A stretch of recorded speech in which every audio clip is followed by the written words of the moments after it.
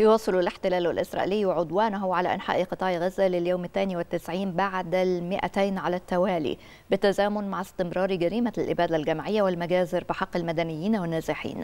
قوات الاحتلال نسفت مربعات سكنية ومبان في بلدة القرار الشرق خان يونس جنوب قطاع غزة تزامنا مع قصف مدفعي استهدف قرارة وشنت طائرات الاحتلال غارات شمال مدينة رفح الفلسطينية بجنوب القطاع ومخيم البريج ومحيط النصيرات بوسط القطاع فضلا عن استهداف منازل في مناطق بشمال القطاع من أبرزها جباليا ومدينة غزة. هذا وأكدت السلطات الصحية في غزة أن قوات الاحتلال ارتكبت ثلاث مجازر خلال ال 24 ساعة الماضية. راح ضحيتها 55 شهيدا و110 مصابين مشيرة إلى ارتفاع عدد ضحايا العدوان إلى 39145 شهيدا و90257 مصابا.